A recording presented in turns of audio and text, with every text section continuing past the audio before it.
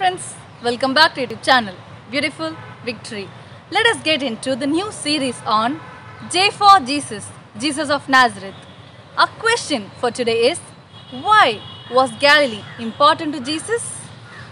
Throughout his life, Jesus apparently saw the growth of an inequality that favored the privileged minority in Sepphoris and Tiberias at the cost of insecurity, poverty, and disintegration for many peasant families. Indebtedness and loss of land increased among the weakest families. The courts in the cities seldom upheld the peasants' claims. The number of indigent day workers and prostitutes increased steadily.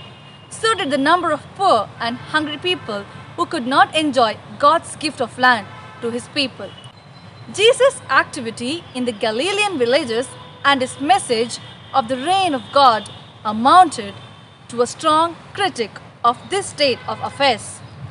His firm defense of the indigent and hungry, his preferential embrace of the least in that society, and his condemnation of the sumptuous life of the urban rich were a public challenge to the socio-political program of Antipas, which favored the interests of the most powerful and plunked the weakest into indigence. For your reflection, men of Galilee, why do you stand here looking into the sky?